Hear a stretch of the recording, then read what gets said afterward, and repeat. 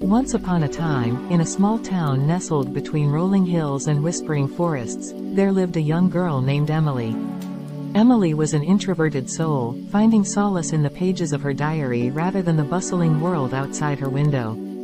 Every day after school, Emily would retreat to her room, pen in hand, and pour her thoughts onto the blank pages of her diary. She wrote about her dreams, her fears, and the secrets she dared not share with anyone else. Her diary became her closest confidant, a silent companion in a noisy world.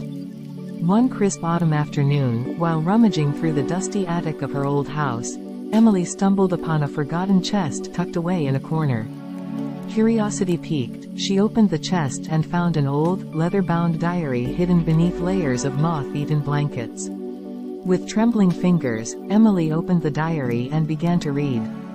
The words on the yellowed pages spoke of a girl named Clara who lived in the same town many years ago. Clara, too, had sought refuge in her diary, pouring her heart out amidst the turmoil of her own life. As Emily delved deeper into Clara's story, she realized the striking similarities between their lives. Both girls had struggled with loneliness and a sense of not quite fitting in. Both had harbored dreams that seemed too big for their small-town existence. But as Emily turned the final page, she discovered a startling revelation. Clara's diary ended abruptly, leaving behind a trail of unanswered questions and unresolved mysteries. What had happened to Clara?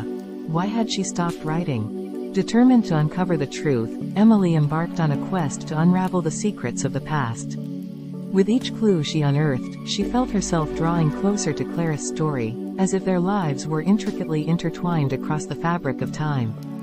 Through dusty archives and faded photographs, Emily pieced together the fragments of Clara's life, discovering a tale of love, loss, and the enduring power of hope. And in the process, she found herself reflecting on her own journey, realizing that perhaps, like Clara, she was not as alone as she had once believed.